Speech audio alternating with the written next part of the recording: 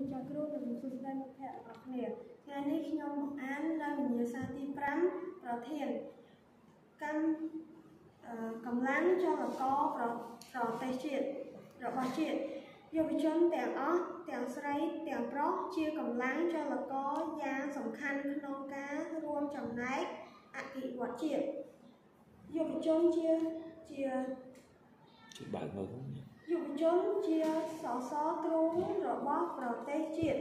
ប្រទេសជាតិត្រូវការយុវជនដែលមានសុខភាពល្អទាំងផ្លូវកាយនិងផ្លូវចិត្តពួកគេជាមនុស្សដែលដែលមានភាពរឹងប៉ឹងមាំមួនមានសាមគ្គីភាពទូលំទូលាយមានប្រាជ្ញាឆ្លៀសវៃមានសិលធម៌ល្អនិងចាក់និងវិចាក់អំពើ អបាយមុខគ្រប់ប្រភេទប្រទេសជាតិត្រូវការមនុស្សពេញលេញគឺជាពលរដ្ឋល្អពលរដ្ឋថ្លៃថ្នូរនិងពលពលករជំនាញការបណ្ដោះមនុស្សពេញលេញដើម្បីប្រទេសជាតិយើងដើម្បីប្រទេសប្រទេសជាតិយើងសម្រាប់អនាគតលុះត្រាតែមនុស្សសម័យអីសម័យអឺ សម័យបច្ចុប្បន្នធ្វើការធ្វើជាគំរូនិងរួមចំណែកបណ្ដុះបណ្ដាលបណ្ដុះបណ្ដាលយុវជនសំខាន់អឺ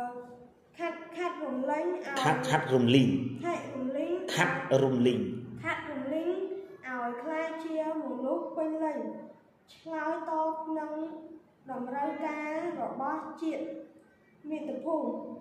យុវជនទាំងឡាយប្រទេស